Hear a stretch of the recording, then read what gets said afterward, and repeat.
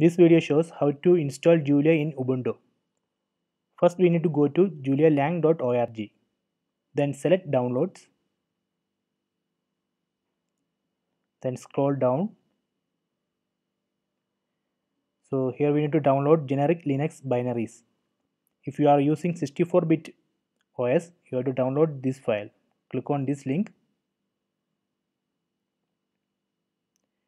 So we have to download this tar.gz file. Its size is around 63.5 MB. Save this file.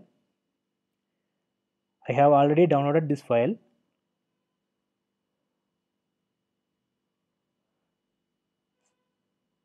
I already downloaded it here. So next we need to extract this file. Right click then select extract here.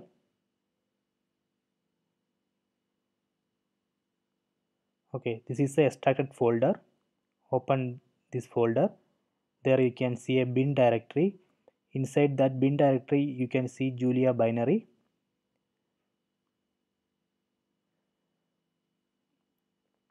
So next we need to export this path location of this bin folder. Let me open terminal.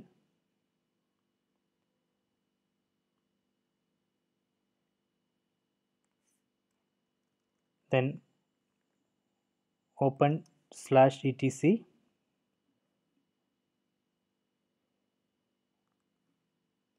Environment.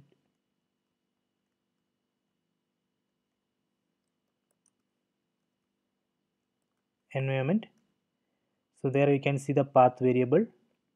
So at the end we need to append the location of julia bin directory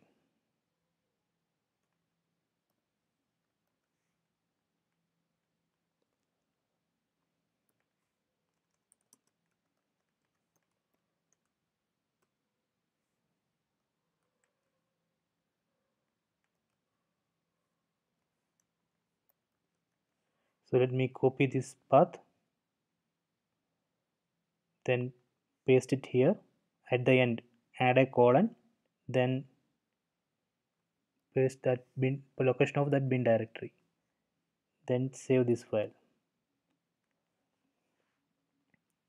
After that we need to log out and log in. You can also export path from path directly here. Export path equal to dollar path colon then the location of bin directory enter. After that type julia minus version.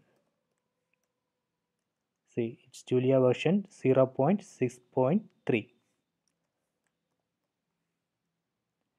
so if you want to go to if you want to open the console just type julia. Then let me type a let me print hello world